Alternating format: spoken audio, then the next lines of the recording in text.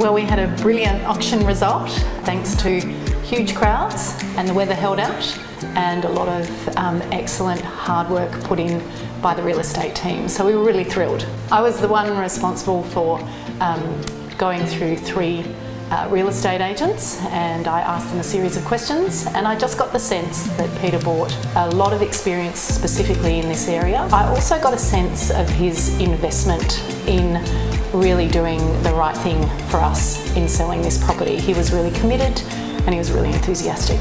The relationship has been really very personal and professional both and which is what I personally really enjoyed. I can't fault that team. They're really dedicated to their craft and I'm very grateful for that. He has got the 26 years of lived in and worked experience and it just shows through his commitment and I think it just uh, brings the property to its best best possible shape that it can be. I don't think there's anything that Peter and the team can improve on. We're thrilled it went above and beyond what we were expecting. The crowd was just fantastic, the auctioneer was fantastic, so it definitely went above what we were expecting. We're just the lucky beneficiaries of um, everybody's hard work and it's just a really lovely feeling. The team just didn't take their foot off the pedal. I think that connection that you can get with a real estate agent I have never experienced and I got it from Peter. Professional and really enthusiastic.